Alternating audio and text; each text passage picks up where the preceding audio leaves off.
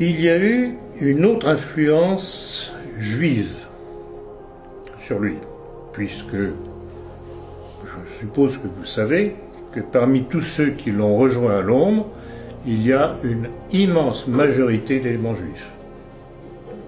Les Cassins, les Soustelles, vous trouverez tous les noms dans mon livre.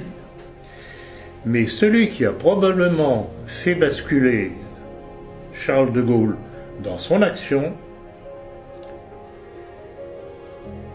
c'est un certain Georges Mandel, de son vrai nom Rothschild.